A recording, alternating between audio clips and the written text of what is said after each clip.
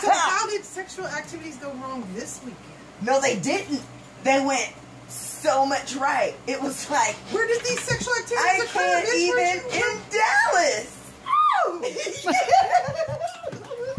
oh, nigga, let me tell you something.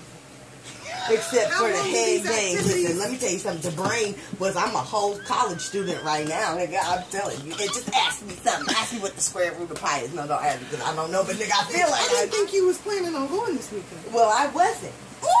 How did you get there? I, this is on the low, too. How'd you get I there? drove. Bitch, you lying. No, we like went out. It was like all night. Like I got like three hours of sleep, and I was like, Can you what? today? Yes, but yesterday it was a problem. okay? I'm just glad I had a motherfucking four and a half hour ride back to this bitch. I was like, woo! Glad I had the minivan too, because the bitch was like this with the window cracked. I said, shit.